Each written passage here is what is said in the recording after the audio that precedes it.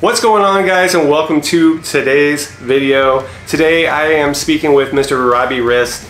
He is the voice of Michelangelo from the original three Teenage Mutant Ninja Turtle movies from the 90s. He also played Cousin Oliver in the Brady Bunch. He also has a lot to do with the film Sharknado and his resume goes on and on and on and on. It was a pleasure getting to interview Robbie and getting to know uh, all about him, his past work, and uh, he was a cool guy. I will let you know that I'm going to put a little parental advisory over this video. There's some language in here, so if you got sensitive ears or little ones, now you know. So Robbie, take it away. All right, we are live. Today we have special guest, Mr. Robbie Rist. Hello. Robbie, thanks for uh, joining and uh, taking some time out to uh, chat with us and Yeah.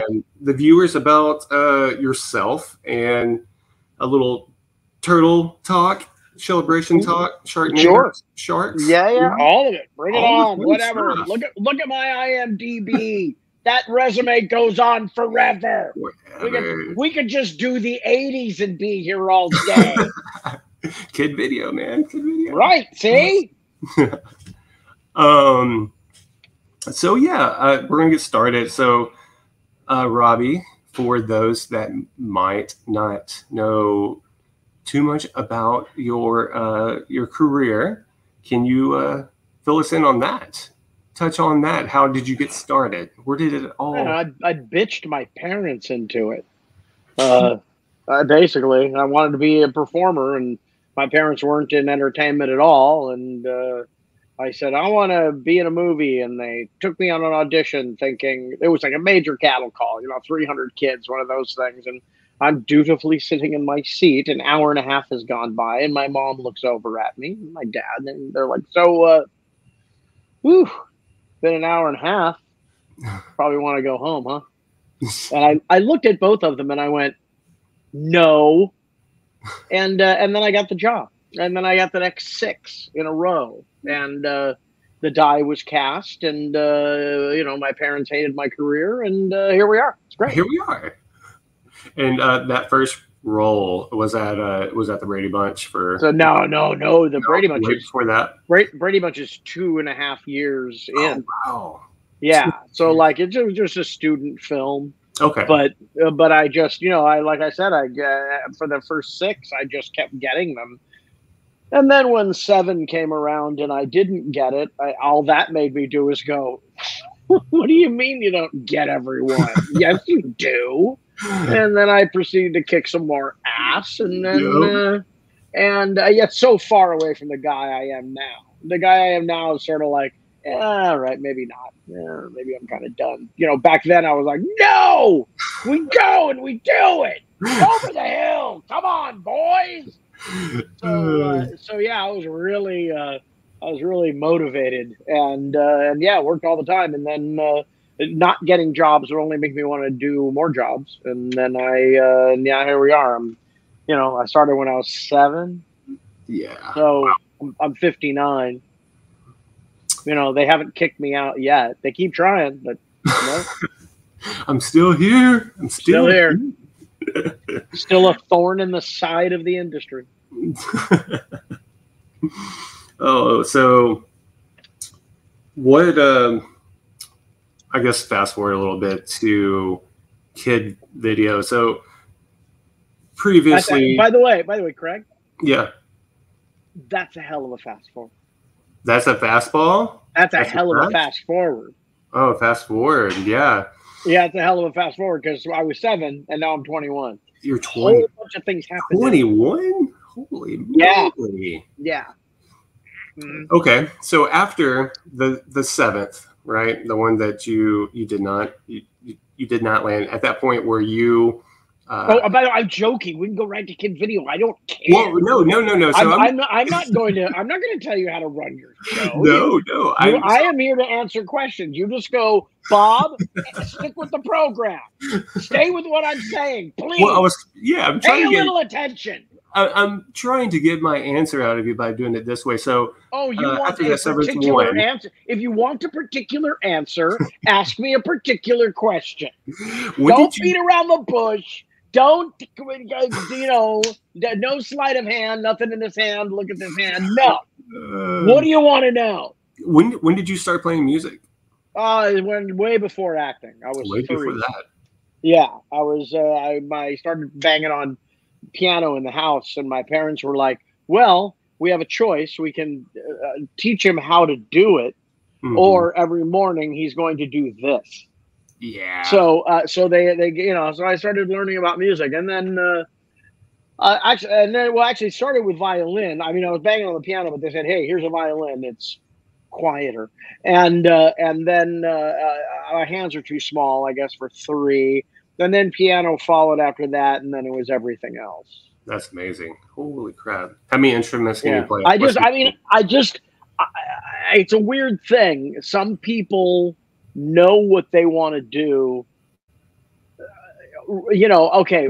I, I, I didn't know what I wanted to do right out of the gate because really, when I was about three or four, I wanted to be a fireman on the moon. So, like, I mean, that sounds yeah. cool yeah, but it, definitely not like it wasn't really a vision. You know what yeah. I mean? But yeah. yeah. at a certain point, I just started performing. I mean, I was you know mm-hmm. putting on plays for the dog. You know, it's a crap like that. Mm-hmm. So uh, it, it, looked like that's what I was going to do.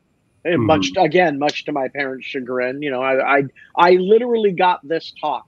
Uh, your father and I want you to be happy in whatever you choose to do in your life. But personally, we think you, you'd be happiest if you became a CPA. Okay. Yeah. yeah. Say it. Say and it I went, I, I, went, noted. noted. That was about it. Noted. noted. That's crazy, man. CPA. I mean, it's safe, I guess. Sure. I, mean, no, I, look, I, they're, they're European immigrants, and and and and they're World War II babies and mm. they look stability was key mm-hmm. where me growing up with all of this stability yeah. uh, i was like well the hell with that i have no interest in it whatsoever which has of course been a mixed bag you know i mean yeah. You know choosing choosing art is definitely uh it's a it's a it's a uh, an industry and and and a, a life path where be prepared to more than once in your life look at yourself in the mirror and go, remember, this is what you asked for. You know, yeah. Ask ask John Lennon. Yeah. Yeah. Yeah. Yeah. Yeah. We'll try. We'll you wanted that. to be you wanted to be known by millions. Well, oh, you got it. Not always. Uh, you know, doesn't always go the way you think it's gonna. Right. Right. Right. with you being being busy as a kid, going on all these auditions, playing all these instruments, did you did you ever like collect or have any a favorite toy that you? Oh well, I, I mean, I was an avid model builder when I was a kid, and okay. uh, and uh, I was uh, uh, something of a Gerry and Sylvia Anderson nut. So you know, I was uh, I was a Space 1999 UFO. Mm. Uh, you know, those shows were uh, were were big for me, more so than I would say Star Trek or or uh, you know anything more uh, American. I, I, you know mm. I thought uh, Space 1999 was way edgier. You know? Oh yeah. Uh, so and and also really, let's face it, ship design way better. Yeah. I'm just you know sorry yeah. Trek fans. Sorry, you know the, the the the Enterprise is nice. Yeah, not not offensive in any way. Mm-hmm. But I'm sorry, the Eagle is a way more exciting piece of uh, piece of gear. Yeah. Did you uh did you were you into uh did you watch a uh, Battle Battlestar Galactica and were you ever... uh, Craig Craig Craig I want you right now. Mm-hmm. To, are you in front of your computer? I am.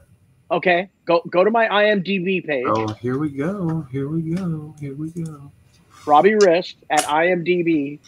That's how you find it. You know, you're 12. You know, you grew up with computers. I, like, I'm IMDb too. You're a you're like 11 years old, and you all had computers in your hands from the time that you were like babies. Oh, Now, at, on my IMDb page, mm-hmm. I want you to look up Galactica 1980. Oh, there we go. There we go. I mean, dude, you have you have. Before I mean, you do one of these interview things, do you do any research? I do, uh, but you have like a hundred and fifty-six. That's only the known stuff. That's only the known stuff, right? Yeah, yeah. yeah. That's not the that's not the adult film it's years. insane, man. Like, all you yeah. do work, work, work, work, work. Like yeah, yeah, yeah. Oh yeah, no. What that was another thing about German immigrant parents is I that I like once I started working, they went mm-hmm. now we are German and you understand that we have started working. Now you will not stop working until you die. and that was just the way between that and the other thing they said, which was uh, again, it always seemed to be prefaced with them going, you know, we're German immigrants. And I'd go, oh. Um, uh, uh, they said, yeah, oh, we're German immigrants. So we just want you to know in this entertainment thing, if you do anything that we deem uh, uh, unsavory or something we don't like, uh, we will not only yank you out of this industry so quickly you won't know what happened, and we will then murder you and make another one that looks exactly like you, and no one will miss you at all. And the only people that will know is your father and I. So, you know, watch your ass, kid. Yeah. So. Oh, Robbie, man, yeah, dude. I mean, look at your IMDb. I mean, it's it's. Uh, I've it's done not, a lot of stuff. Yeah, but you, you, just said Galactica. I'm like, come on! I was yeah, in. The, like, I was on. in the shitty one.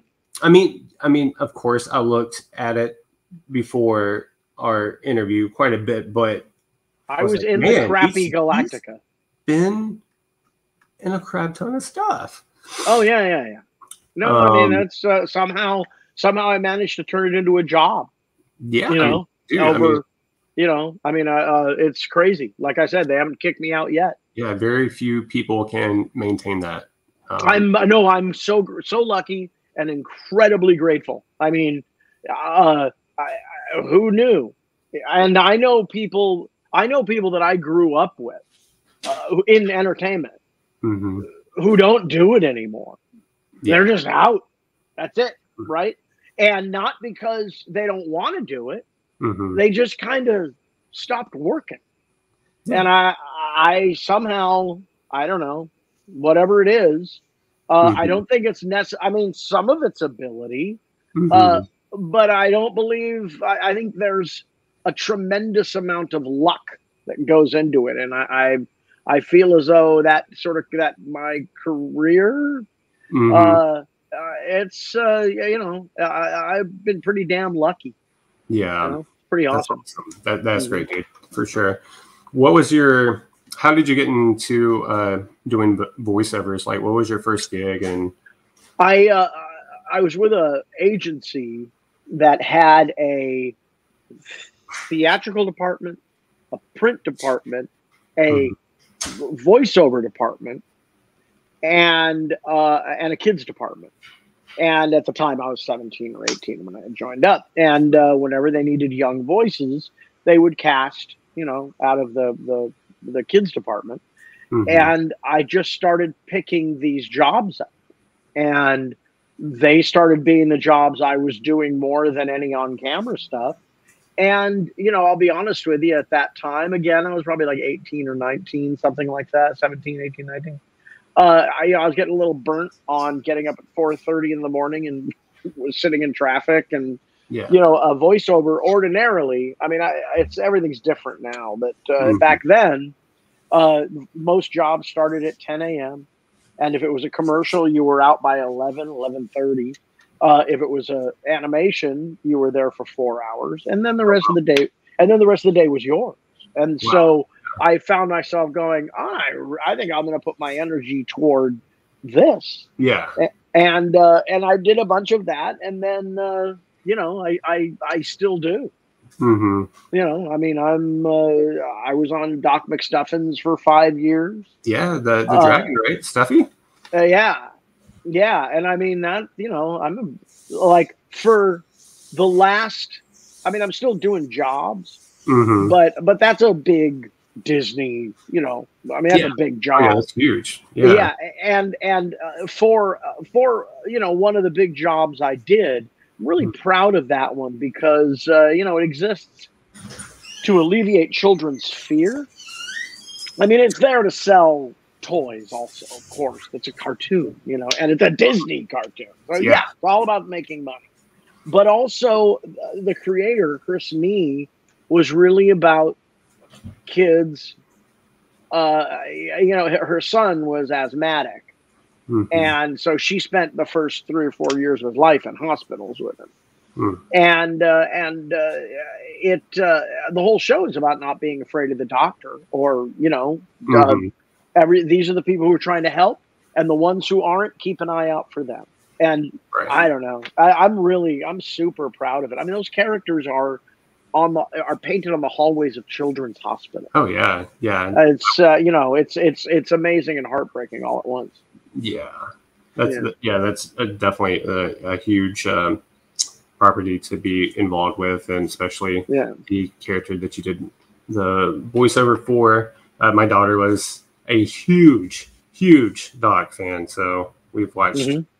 many, many of episodes with her. Yeah, so- and also I'm, you know, there's a the crazy thing about being involved with a kid show is, uh, uh, you know, uh, there's a continuum that uh, because it's for little kids and little kids don't necessarily have any nostalgia, they can reach back Mhm. to old games like Monopoly. You know what I mean? Monopoly has Beverly Hills Monopoly and blah blah blah.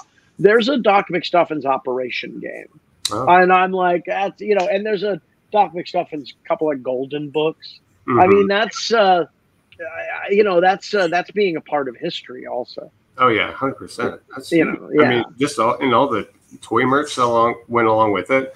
I'm Yeah, pretty sure. sure my daughter had the Doc McStuffins like um, toy box, like the little baskets with a hang. Like, dude, she had Yeah, she had oh yeah. oh man, there's so much that came out with that. Talking about uh, you know voice acting and all of that, how did you land the role of uh, Mikey for the uh, TMNT movies? I mean, it was uh, you know audition process. You know, uh, uh, so I had a musician friend hmm uh, who uh, was a big comic book guy, and this is 1988. Bob Coleman, and Bob uh, showed me the black and white on small paper comic. It was like Yeah. from the first year first- or something. Yeah, Yeah, and uh, and he thought it was. What were you gonna say? I said very limited. Yeah, yeah. Yeah. So, uh, so he said, "Yeah, this is pretty ridiculous, isn't it?" And I flipped through it, and I'm like, "Whoa, violent, how fun, you know, whatever." Mhm.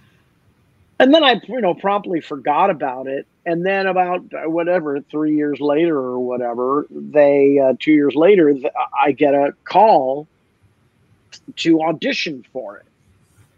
And they're like, "You know what the Teenage Mutant Ninja Turtles are? They're gonna make a movie out of it." And I went, "Uh, "For kids, kind of violent and dark, isn't it?" They're like, "Oh no, dumbass! It was a cartoon in between." I'm like, "Oh, okay, yeah." So that's kind of where the kind of where they shaved off all the edges, you know.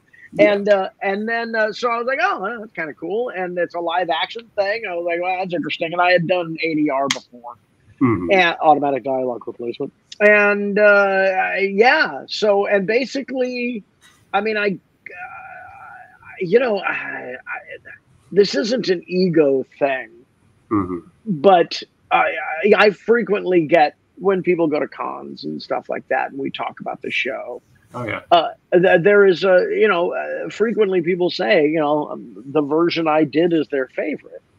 Um, and you know, and though, and I'm in some pretty fast company there. I mean, I, you know, when you think about that character, uh, there's Townsend Coleman, who is he's the tick for fuck's sake Yeah. he's he's one of the he's one of the most successful voiceover people successful actors hmm uh, ever and uh, and uh, you know, uh, really, what about him? You know, I Yeah. and then you know, then there's Mikey Kelley, who's a really great voiceover artist. There's that Canadian dude that's been doing the one cartoon for like 15 years or something. I who I've yet to meet. I'm very curious about him. And uh, and then there's the uh, you know Michael. And then there's the uh, you know then there's the new the new crowd. So whenever people talk about these things, I go, well, of course I'm better than the Michael Bay cast. Those things suck. But but Townsend Coleman, you know, Greg Cipes, Mhm. you know, these are uh, the uh, you know, I mean, wildly successful, very talented actors. So it's very flattering whenever people tell me that. Oh yeah, for sure. Uh, you know, and uh, and so, uh, but I had no idea what I was getting into either at the time. You know, I, I did this show in the '70s called The Brady Bunch, and and like when when it went off the air, it was a popular show, Mhm. but when it went into syndication, it became the thing that everyone talks about. Well, that community talks Mhm. about now, right? And and this is a very similar thing that at the time, the Turtles cartoon with Townsend and and uh, and uh, Rob Paulsen and all that, Mhm. uh, th- that was you know it was successful, but it, it, wasn't like uh, yeah. I mean, it's they Seth Rogen just made another Yeah. turtle movie Mhm. And the first one, well, wait, the cartoon comes out in 89. So that's 89, nice, 10 years. 99 to 2009 is, uh, that's uh, 20 years. Mhm. So this thing's 30 something years old. Yeah. And it's still being uh, refiltered and, and, and, and, you know, brought back from the dead over and over and over again. So there must be something to it that is, I don't know. I mean, think of no one talks about Shark Boy and Lava Girl, and that my, was a my kids do actually. Yeah. Uh, but does it have? no, no, I get it, but I mean, does do, it doesn't have the sort of cultural Oh, no, No, that it these does. turtle things do, Not and at it's all, man. crazy to me. Yeah. You I know, so I, I had no idea what I was getting into. So I was basically just doing an impression of Kurt Yaney, who was a guy I went to tenth grade with, and uh, and that was it. You know, I mean, Val speak, you know, surf speak, comes from my graduating class. Mhm. We were doing that accent for years before Valley Girl came out, before the Zappa tune, and I think Yeah. that's that's kind of what set it off into the stratosphere. But I'm from the San Fernando Valley. We were making fun of surfers for a long time.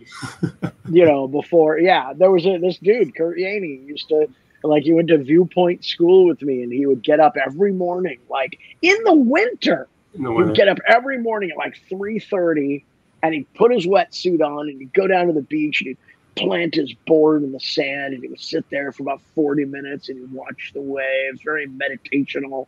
And then he'd uh, go and surf for a bit. Mhm. And then he'd show up at school, sand still in his hair, you know, he's wearing flip flops and Yeah. whatever. And I'm like, Kurt, what's up? He's like, hey, dude, what's up? I'm like, right on. Okay. so, so it's good to know. So, Kurt, if you're out there, you know, you kind of gave me a new lease on life. I really There appreciate you it. go, Kurt. That's awesome, dude. That's very cool. Yeah. Very Yeah. cool. I mean, for me, like I was, I was nine years old when uh, the first TMNT movie came out, and that was my You're jam, the right. you're between yeah between Right between six and nine, maybe six and 10 If you Mhm. see that movie for the first time, oh, it's it's transformational. I've Yeah. seen it more than once. Yeah. Yeah. Um, and I remember like sitting in the in the theater, like waiting for it to come on. Um, and even as a as a child, I was like, I hope this doesn't suck because I love the freaking turtles. Even at nine, that was it. What was in my head and what I saw, I was not expecting because it was it was so well done, man. I mean, just everything about it, like One It- is one's a real movie. Mhm, One yeah, is a real movie. Uh, The other ones are all trying to chase the dragon. You know, they're all trying to sort of do a lot of fan service and make sure that uh, you know the parent groups aren't getting all up in arms over you know, the fact that Junior has destroyed mm-hmm. the rocking chair that her great grandmother, you know, brought right. into the family and, you know, all that stuff. So I've had to apologize to some people at cons for destroyed furniture. You're like, thanks a lot, Mikey. Thanks. Yeah. yeah, yeah. But yeah, I mean that first one, dude. I mean, the, I mean, there's there's nothing like it, and I mean that is no, it's it's like I, I, say all the time, it's it isn't it isn't like Star Wars. Mm-hmm. It's a different thing, mm-hmm. but it's like Star Wars in that I talk to a lot of guys in their 30s and younger, you know, their 20s. Mm-hmm. The guys in their 20s are like, I just had my kid, and it is everything in me should not show him right now. Right. He's, he's eight months old. I'm like, yeah, I know. uh, but they can't wait until they're six or seven, five, so they can just go, all right, we're going to sit down and we're going to watch this together. And I think there's something really beautiful about, uh, you know, it's been used as an electric babysitter a lot, yeah. but also, you know, I, I, in in con world, in mm-hmm. convention world, um, I, I look at this whole environment as having nothing to do with me. Mm-hmm. Uh, I'm yes, in that uh, the people want to talk to me, mm-hmm. but truthfully, these things are about the person who's paid their twenty dollars for them to be the performer, mm-hmm. because everyone who comes to my table has a story that they've wanted to tell. Oh, yeah.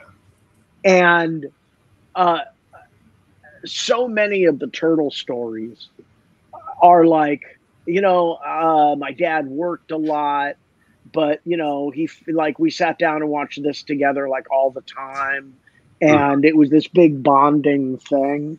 Uh, I hear that a lot having to yeah. do with this movie and uh, it's another thing to be really. I mean, I'm kind of awed by it. You know that that I don't know.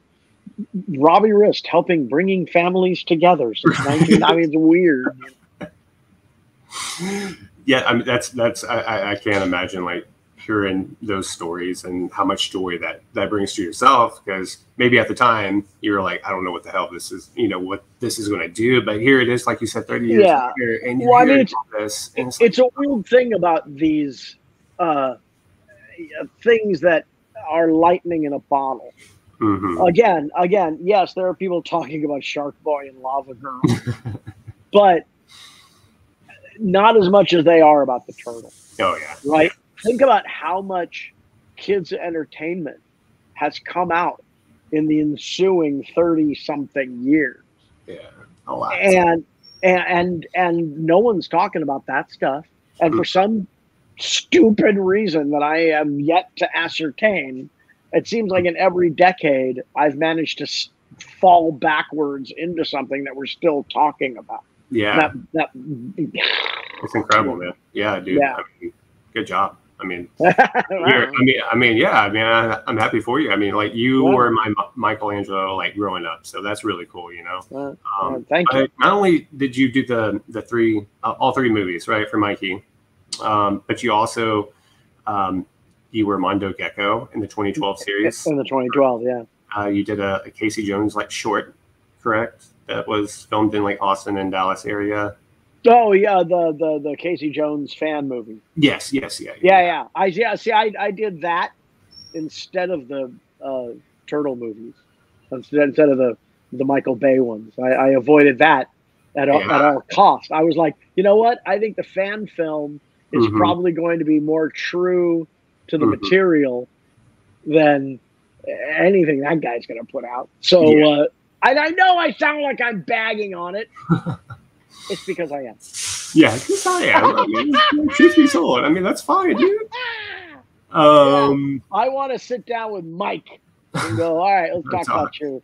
I mean, look at this way. What does he have to lose? These movies made him billions. Yeah. Well, the Transformers movies did, which is the same deal where you know the main the reason the naming the thing that the movie is named after mm-hmm. is a second class citizen in its own movie yeah, yeah. that blows my mind That's amazing.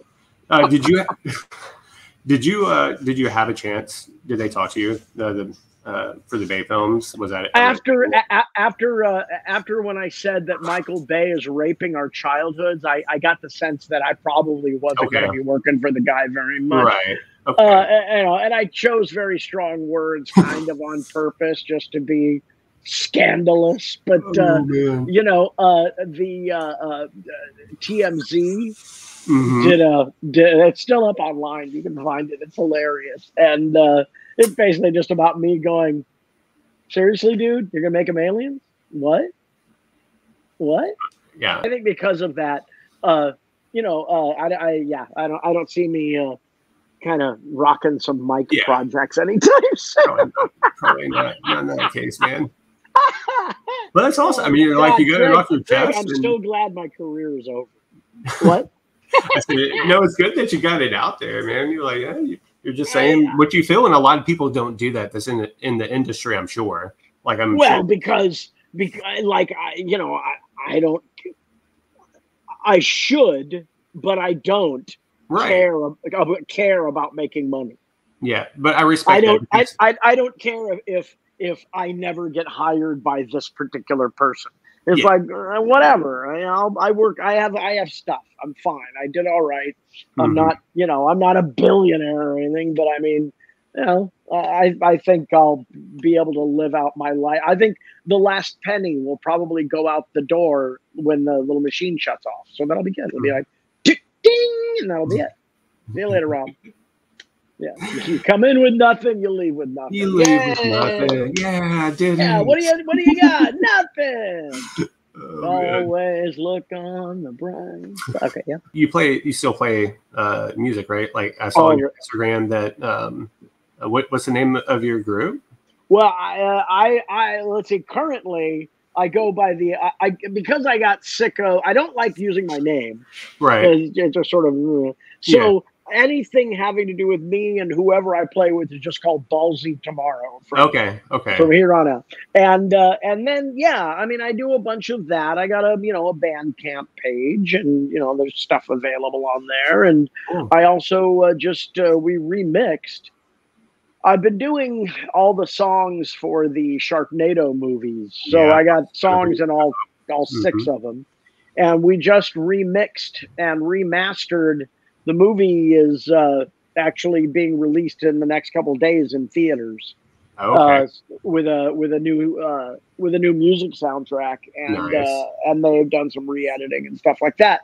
So, mm-hmm. uh, so that's me and the director Anthony C. Ferrante. We, uh, we he mm-hmm. kind of he because you know he's a low budget film director and he mm-hmm. wants to have Aerosmith songs in his movies. Yeah, he doesn't have the money for Aerosmith yeah, songs, so he comes to me and goes, without getting sued. Can we make a song that sounds a little bit like Aerosmith? And then I make a song that's a little bit like Aerosmith. And he goes, I said I don't want to get sued. Like, don't worry about it. It's fine. No one's going to sue No That's, one cares. Yeah. Rock music, rock music is over. So no yeah. one's looking no one's looking under the uh, no one's looking under the rock for you know potential money. No, it's yeah, rock. I, I agree. Rock is dead, man. No, of course, music is. Yeah. I, I mean, there's good stuff being made. Yeah, there's a ton of good music being made, but I just don't think it has the the cultural weight it once did because you know mm-hmm. there's there's too many there's too many things mm-hmm. to distract you. Yeah. So you know, the, I, I, listening to bands was so much easier, you know, before internet porn was everywhere. True. Yeah.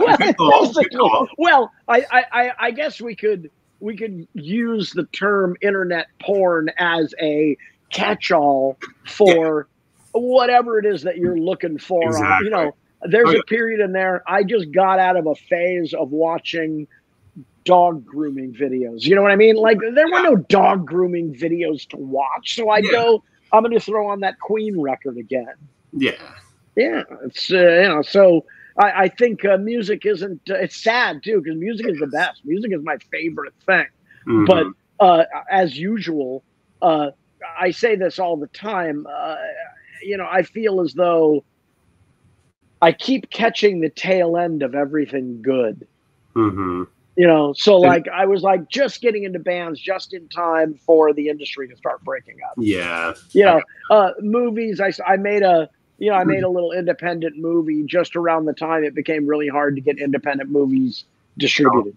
Yep. You know, it's like so I keep like doing the art, but it keeps you know, I'll like maybe after I die, there'll be people that go back and go, Oh my god, that wasn't horrible at all. Yeah, that was that wasn't bad. Yeah. That wasn't bad. nice job, buddy. Good job.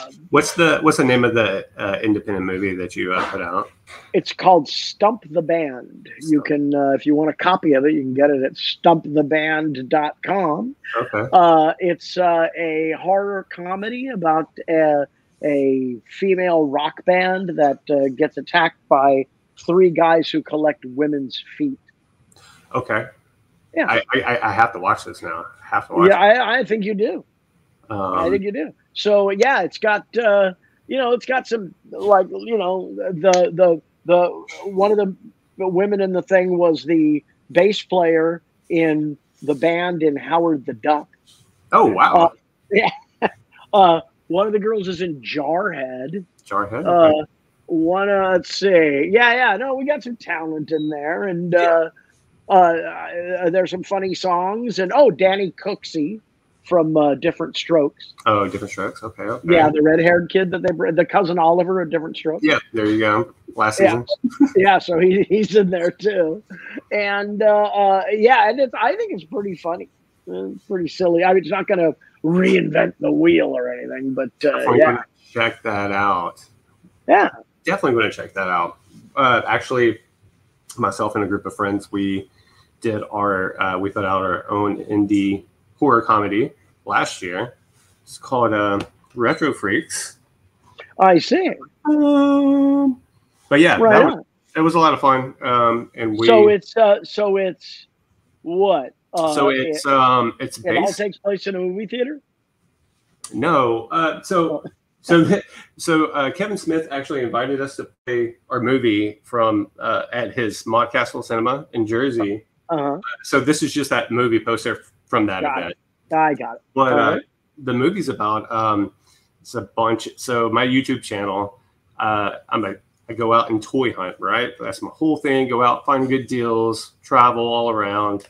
Um, so it's when this director that's local, he's into pop culture, and he was like, uh, he watched the channel, and he was like, hey, I got a really good idea for a for a horror comedy like are you down? I was like sure like why not? Let's let's let's try it out. So basically the movie is uh, it's based around toy collectors that um, we have demon princess acula that um, intertwines and um, all hell breaks loose. All hell breaks loose in local toy stores and um, yeah it's i you know i don't want to say too much more but it, it was a lot of fun it was a lot of Uh, work Uh, where where is it viewable? um, so we we have it up on we have copies that we sell at you know like toy shows and stuff, but also we are trying to get it on uh, Prime Video right now. Where Mhm. So, but I have a copy. Right I, a copy. I'll send I'll send it to you. Right on. Um, like if you it. ever want to check it out, if not. I do. I do. But I, my, my look. My whole record collection is Mhm. bands no one's ever heard of. I like. mhm. I, I you know mostly what in upended commas the man feeds us. Mhm. You know, it's fine. But Mhm. again, you know, I was talking about the the turtle cartoon earlier. You know, uh, they sanded all the edges off, and Yeah. this is what. And, and it's a good cartoon. You know, I mean, I'm not Yeah. slamming it, but they, they they did you know remove a lot of the elements of danger yeah. and this is what they really this is because you don't want to chase anybody out of the theater Mhm. you know most larger corporations are are are trying to make it so more people are coming in you know we were talking about we were talking about tom six before Mm. you know uh, before going on the air here who was the director of the human centipede films uh, uh like he intentionally is making art uh, I I have a podcast of my own called The Spoon. The spoon. And yeah, the uh, the spoonradio.com. There you gotcha. go. You go there. and so I have two uh, it's two friends, you know, uh, that I, that host it with me. And one of them uh, refers to something he calls video rodeo, which is you're watching a movie and you have the remote in your hand or you're in the theater and you're like, all right, I'm going to turn this off. Uh, not yet, though. Uh, I'm, I'm going to turn the. Uh, so, like, for me, video rodeo is just as much about entertainment as yeah. sitting all the way through the end credits and going, yeah, it's pretty good. Yeah. Yeah. You know, it's fine. You know, fine. I'd rather watch something where I'm like, what on earth just happened to me? Uh, that's that's what yeah, I want just, out of my art. Yeah. I, out of my art, I want I want profundity, whatever mm-hmm. it is.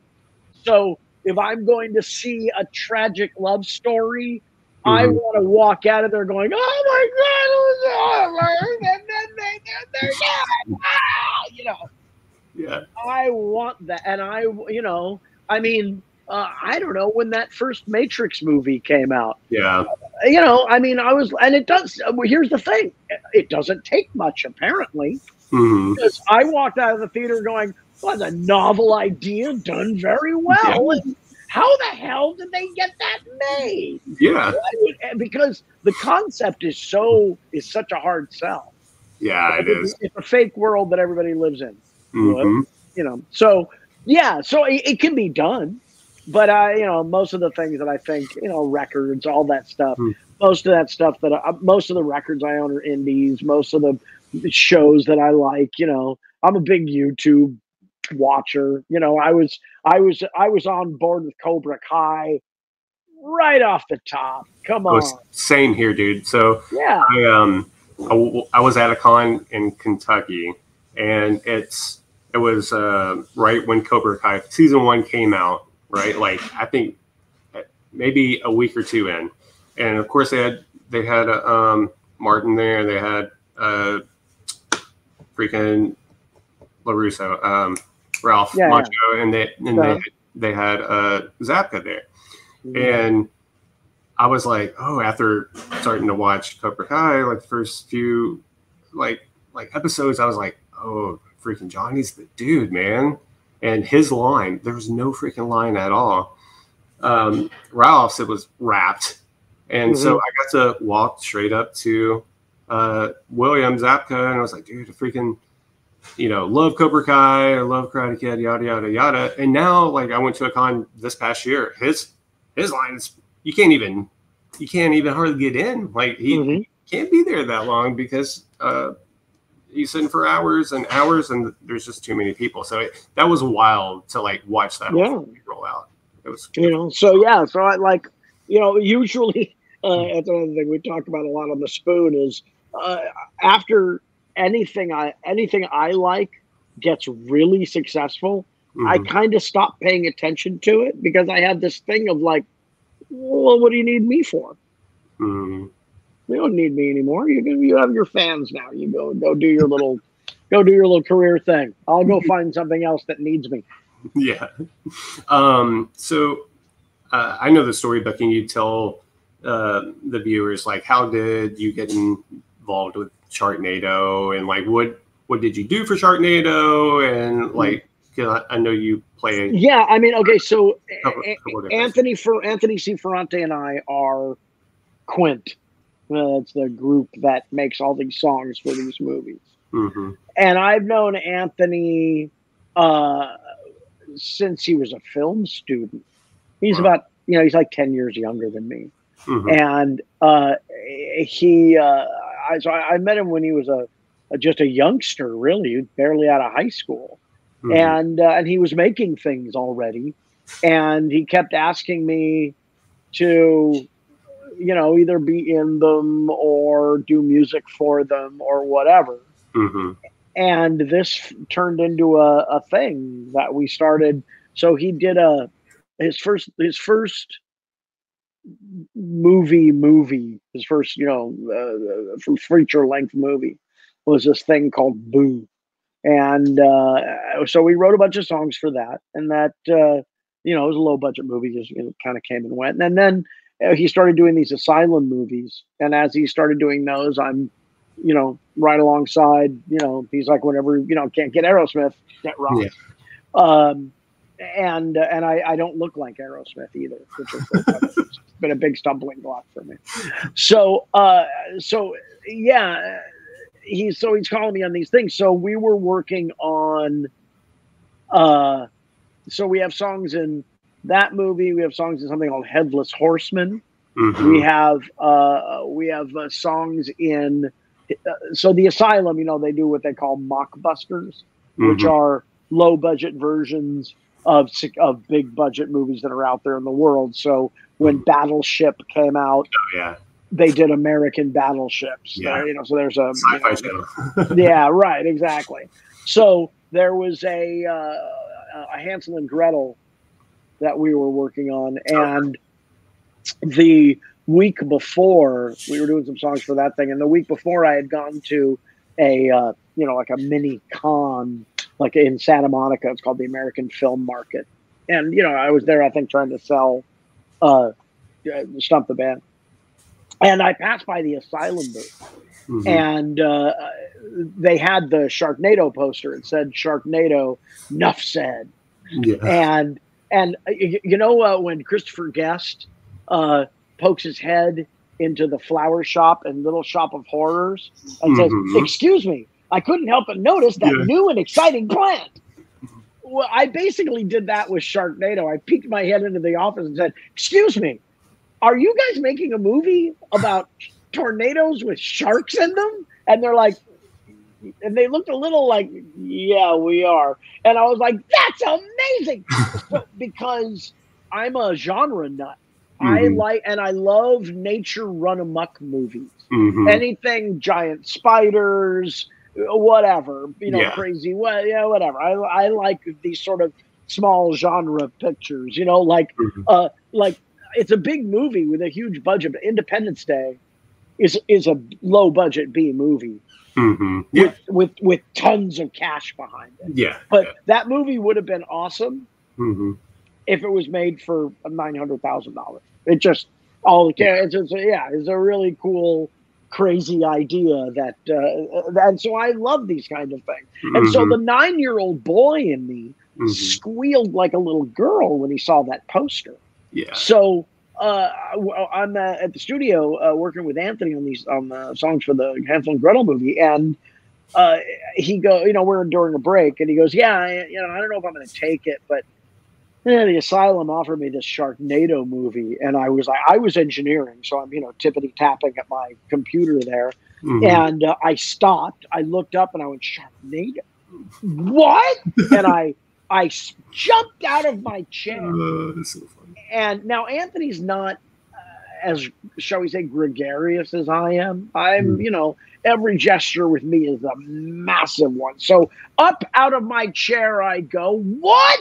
and I grab him by the lapels. And he looks at my hands and he looks me in the eye, not sure what's going to happen next. Mm-hmm. And I mm-hmm. said, Look, I don't know why, but I really think you should direct this movie. And if you do, you have to put me in it. so, so uh, uh, and after I said that, he looked at me and said, "Can I have my shirt back, please?" I went, "Oh, Jesus, Anthony, sorry, God, whatever." He goes, "Now I don't know. He really he didn't. That wasn't what made him make the decision to make Sharknado. Mm-hmm. But I will say I was right because." I, I, I knew I, something about this thing. I knew it was so so the fuck is happening here? Yeah. That there's no way that it couldn't have been. It couldn't have been uh, at least interesting. Oh, so. Yeah. yeah.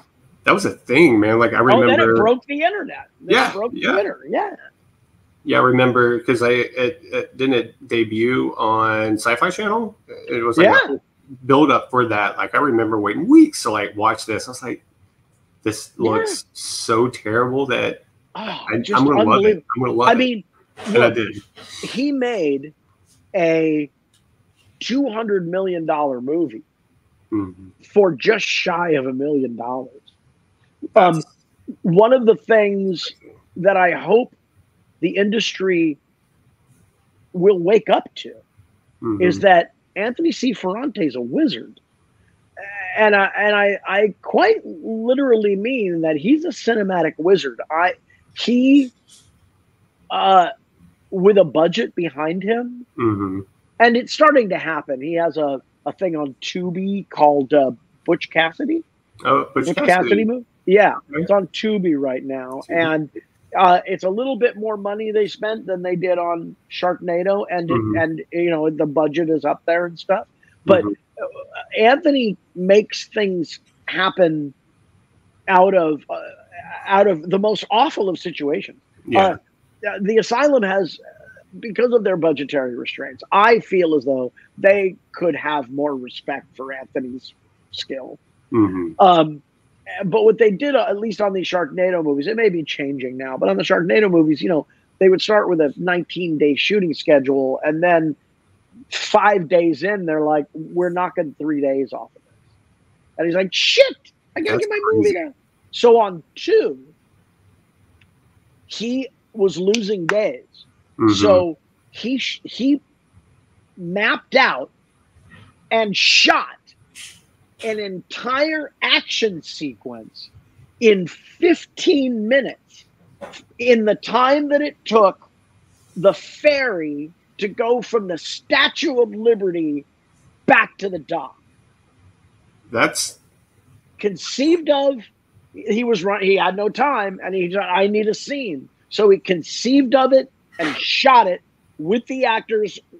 Just you know, the actors that they shot at the Statue of Liberty, and they had yeah. you know they were on the boat and so they he he winged and if, if more people understood what Wait, so you- anthony what anthony can do with no money what what the man could do with a major budget Mhm. would be i mean and i look i've known the guy for decades so i'm Mhm. gonna say that Yeah. but yeah. i've also seen him work up Work. close. and uh, when the industry hopefully someday wakes up to that fact Mhm. uh, his name i believe his name will end up up there with you know the the real people the real people, or whatever yeah the real people. That's Yeah. that's the thing. Like an action shooting an action sequence in 15 minutes.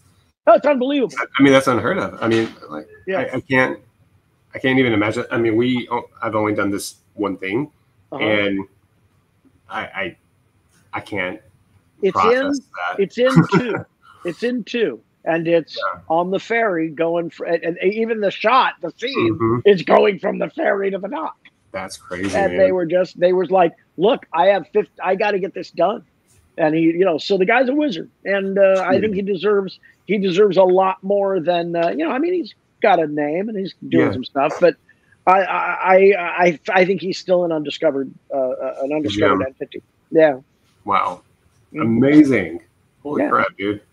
So, um, so I, are you doing the music for the new Sharknado or the, the one that's, Well, the one that's in theaters is that that is Yeah. now is the first one. So we, we there's a guy here in St. Petersburg named Brian Merrill. We uh, we him and I remixed the whole thing, okay. all, all the songs anyway. And Yeah. then they did a they did it's got, I guess it's got a 4K uh, print that they've done now. Okay. Uh, yeah, so uh, you know they've really beefed it up. He's uh, you know he's re-edited some scenes. You know, I'm still in it. So you know. the bus driver, man. Yeah. and oh, uh, this is another thing. Of course, I love uh, talk. I love working with Anthony. Is that I, I got the script pages, and he's like, uh, "If you can think of anything better, go ahead." So pretty much all of my dialogue is just I'm you know just being winging it. It's hilarious. he's winging it. Yeah. Yeah. And That's but that also means my mom my mom always said Hollywood would kill me. You Mhm. know, Yep. yeah. Yep. There's there's there's truth in it. Yeah, there it is, man. Robbie, Shell-a-bration is coming to uh, Plano, Texas, Allen, Texas, September 16th and 17th. This is the second Shell-a-bration. Is that correct? Second, number two. Number I'll? I'll say yes. You'll say yes. Okay, sounds good. I think I think you're right. Um. Uh. What do you What do you look forward to the most? Um. Seeing what how how the first one did. Uh. The res- kind of response that uh, you Mhm. guys received. Uh, Yeah, what are you looking good. forward to the most on this uh, second one? Well, I I mean, I, the thing is going to be what the thing is, the Mhm. Shell-a-bration thing, right? This Mhm. is it, it's basically a way of kind of just saying, hey, this is this group of people. It's associated with this thing, and yeah. So for me, doing the Shell-a-bration thing, um, it's about it's what I call closing the circle. Um, basically, you make these things in a vacuum, right? Uh, especially the voiceover part of it, because really just me and a production manager and you know all of us, and we just individually just plow through our lines over a series of days, right? Mhm. So, uh, so it's uh, and then the thing goes out there into the world, and Mhm. it and it has its life, whatever its life may be. And this is an opportunity to talk to and you know meet and talk to the people who have created this phenomenon. Uh, uh, you know we're uh, uh, this doesn't none of this happens without the people who this has become a part of their lives Mhm. and uh, hearing again i never get tired of hearing how uh, like there's a there's a woman named michelle ivy arguably the biggest turtle fan on the planet she uh, she has heads Mhm. she has animatronic heads. She's a big fan, right? And she told me, uh, uh, I met her at a con in Chicago, and she said uh, when she was younger, she was uh, mercilessly bullied by the kids in the small town that she grew up in, and uh, she, you know, went home from school and went to school every day terrified. Mhm. And at a certain point, she sees the first turtle movie. And she walks out and she goes, You know, they can defend themselves. There's no reason why I can't. Okay. This is a movie about guys in rubber suits Mhm. doing gymnastics, except for the fact that it's not. Because through whatever happens in this movie, people in the theater, people at home on their couch, experiencing this thing, for some people, well, I would say for everybody that I've talked to in one way or another, this movie's been very transformative for me. Mhm. And hearing, uh, I mean, there are people that were like, uh, you know, I get a lot of fan art, Mhm. you know. Uh, I, I I've always take pictures of it and put it up on my Instagram, you know. Mhm. And so many people are like, "Oh no, I started drawing because of the turtle movie." I like all of these people uh, have have have an amazing story about this thing that I just, you know, I mean, I'm honored to be a part of it. Mostly, I'm like, I'm just as shocked about this as you are. you know, yeah. So uh, for me, that's Mhm. for for me, it's all it's all about the people, man. But that's- but really, but really, it is.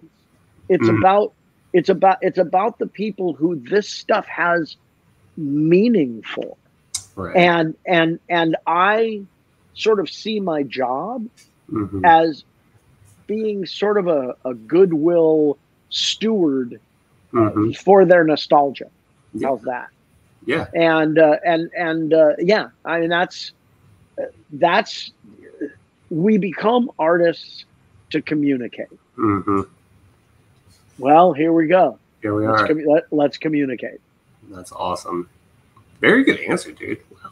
Good answer. It's true. It's true. It's true. I wouldn't be. We would not be having this discussion Mm-mm. No. if it wasn't for people like Michelle and Yep. whoever. All these people that have come and shared their story about the thing. Oh yeah, absolutely. Yeah. It's uh, it, it it's it's it's profound. It really is. It Even really though is. it's guys in rubber suits doing gymnastics. with other people doing their voice. yeah, right. Uh, Ken Scott has a or has a has a really good description of how many people it takes mm-hmm. to make a turtle. Mm-hmm. It's like four because there's a stunt turtle, Mm-hmm. there's the there's the puppeteer turtle, mm-hmm. right? And then there's the guy who's doing the animatronics I and and I think he's the voice, okay. right? Yeah. Uh, I think. And then Gosh, and- and then and then we do our voices. mhm. Yeah, on top of that. Yeah. So yeah, it's uh there's like it, It's it's a quite a pro- art art is a crazy like you know when you start i whenever i get like dvds if they still make those no when they uh i'm i go right to the making of Oh yeah. i go i go to the making of first hmm you know the little featurette that Oh, yeah, talks man. about you know Especially if you're, in, things I mean, an, an, an actor or something like that. I mean, yeah Most Oh, no, if you- thing to see if how you have thought about making movies that's and and haven't yet mhm. i highly suggest watching the making of the abyss the abyss. It's a it's a Okay. doc, it's a they made a little documentary, you know, it came with the with the movie. I'll put Right. that on my list for sure. Um basically the making of the abyss is a study in the universe Mhm. asking you how badly really do you want to do this? You just cuz it's a nightmare. It's just the whole thing. You just you find yourself going, "Oh no!" and then, "Oh god, oh they almost killed Ed Harris." yeah, amazing. Yeah, I'll definitely check that one out for sure. Do it. Yeah. Um, so, so yeah, so Shell-a-bration coming up. We're gonna have Robbie's gonna be there. Kenn Scott's gonna be there. Judith Hoag, Ernie Reyes Jr., Brian Tochi. Brian Tochi. I still haven't. the, Brian the still hasn't my email yet. Like I've been waiting to Uh, hear from Brian. he's uh, Brian has an entire life Mhm. that that he's dead center of right now. Oh, That is probably eating up a lot of things. That makes total sense. Then I'll Yeah. see him at the show. I'll get to Ah, talk. no, Yeah. Brian is Brian is one of my favorite people ever. He's so great. That's Well, it's another guy. I've known him since we were kids. That's oh, since you were kids. Wow. Yeah, I think I, yeah, I was like nine when I met him. Wow. Yeah, I think he was like 34 or something. No, I'm joking. Um. But yeah. Um. And he was on an original episode of Star Trek. Was he okay?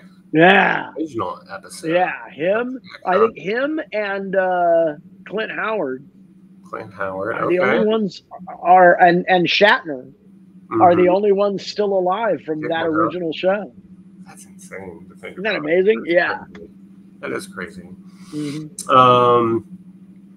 So uh, okay, so when you were doing a couple more questions, and then we'll do the rapid Mhm. round. But um, when when you were doing your your voiceover parts and stuff, did you?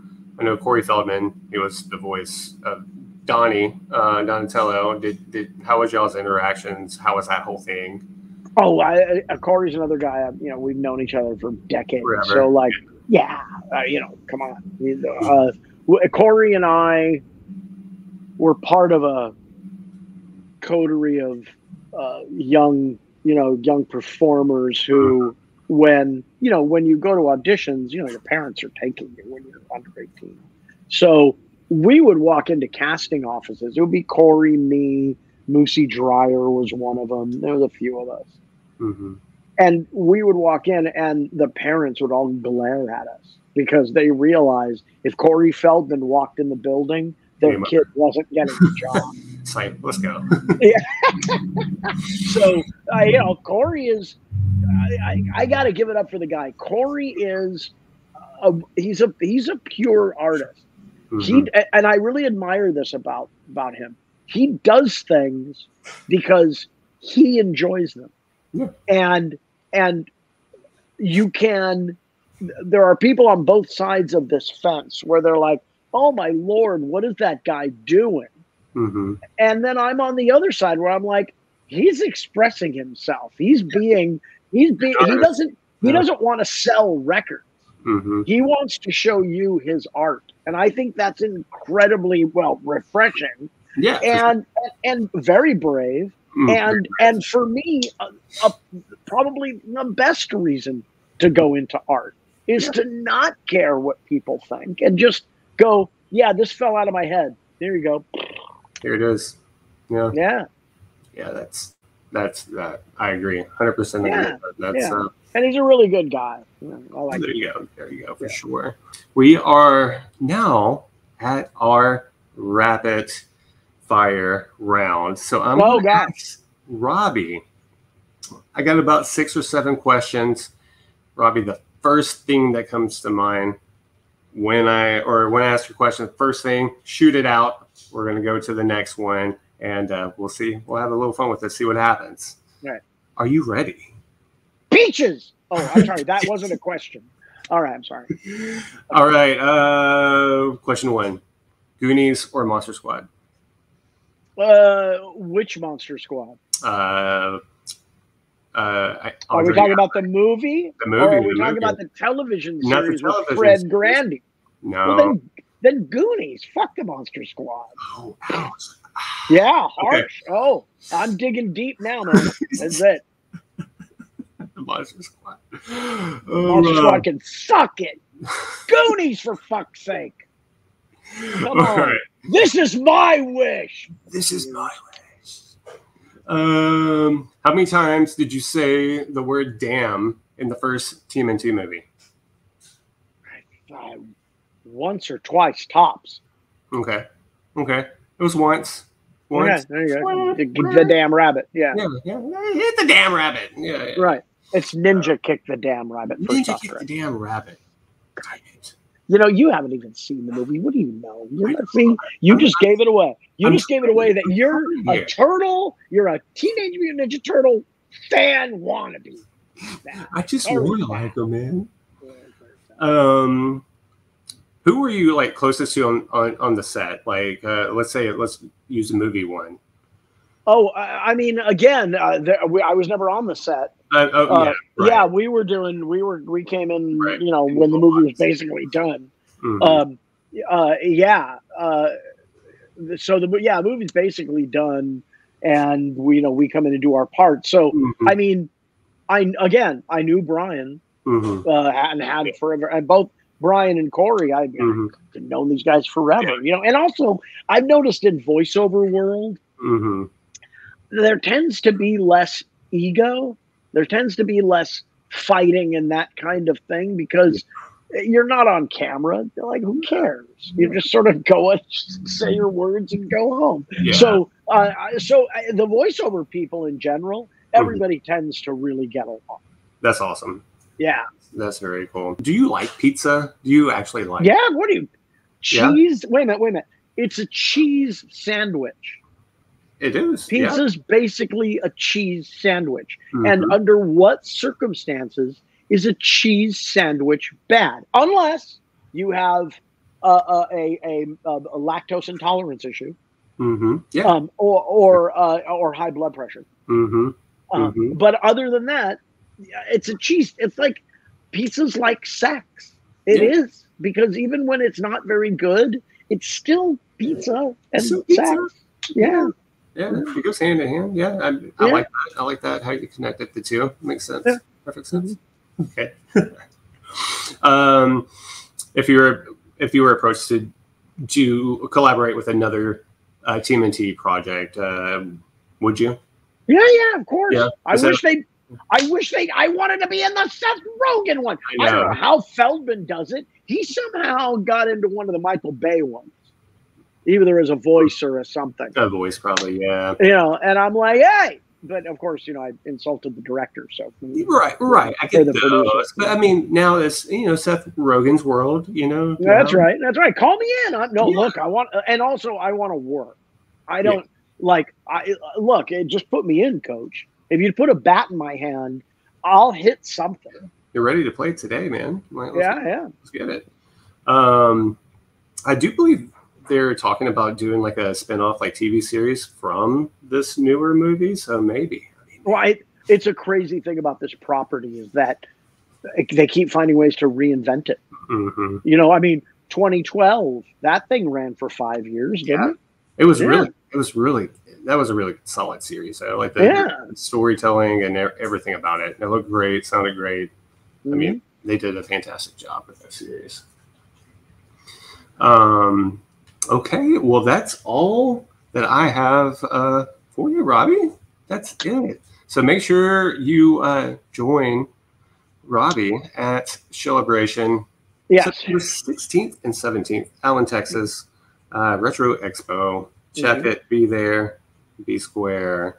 Yeah, there. Okay, and there's a Robbierist.net. There is a Robbie Rist Bandcamp. There is a Robbie Rist Facebook. There is a Robbie Rist Instagram. There is a Robbie Rist. What are your fingers? What is that? What is that? All gonna be down below. I got you, Oh, they're all down below. you. There you go. yeah, all of it. I'm sprinkling. Yeah. all. So, uh, so that, that, that. I think that's all. Oh, the spoon. The spoon Yeah, the. Uh, uh, also, uh, uh, stumptheband.com. okay. Uh, the trailer, I think, is up on YouTube.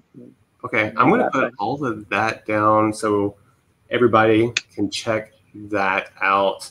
Uh, Sign of the Devil. Rob, dude, like this was by far the funnest interview I've ever done. So, thank you.